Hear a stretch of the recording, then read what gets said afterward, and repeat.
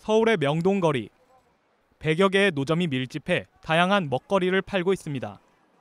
서울시가 마련해준 가로 판매대와 달리 리어카나 포장마차 형태의 노점은 모두 불법입니다. 보행 불편 등 민원도 끊이지 않아 단속 대상이지만 단속은 쉽지 않습니다. 관할구청에서는 불법 노점을 강제 철거하는 방식으로 대응하고 있지만 생계형 노점상들의 반발이 크기 때문입니다. 이에 일부 자치구들이 기존 철거 중심의 대응 방식에서 벗어나 새로운 방법으로 노점 관리에 나서고 있습니다. 명동과 남대문, 동대문 등의 1,300여 개의 노점이 몰려 있는 중구는 오는 11월부터 노점 실명제를 도입할 계획입니다.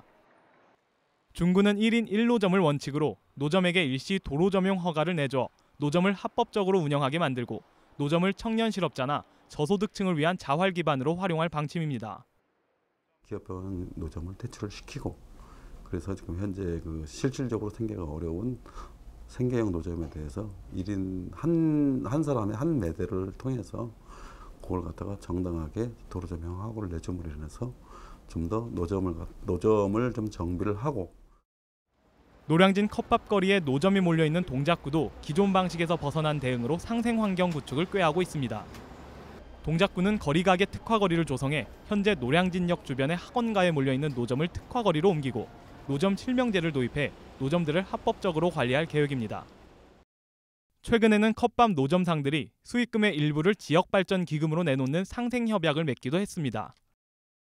거리 가게 상인과 주민 모두가 상생을 위해 한 발자국 양보해 주신 결과 거리 가게 이전 협의라는 성과에 이어 이번 협약도 이루어냈습니다. 또한 노량진 거리 가게 특화 거리가 서울 노점 정책의 새로운 이정표가 될 수 있도록 철거 위주의 불법 노점 정책이 상생하는 방향으로 점차 변하고 있습니다. TBS 문기혁입니다.